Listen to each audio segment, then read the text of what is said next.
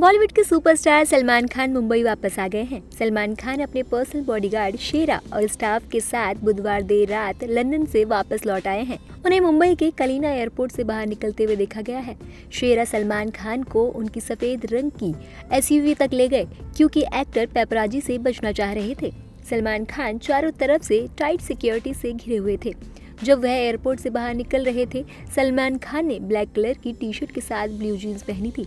इसके साथ उन्होंने ग्रे कलर के लेदर जैकेट पहनी थी। सलमान ने सिर पर ब्लैक कलर की कैप पहनी थी।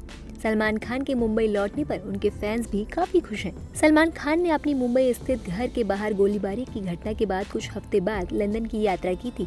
बता दें कि मुंबई पुलिस सूत्रों के अनुसार सलमान खान के घर के बाहर फायरिंग मामले में दो हथियार देने वाले आरोपी में से एक की मौत हो गई है।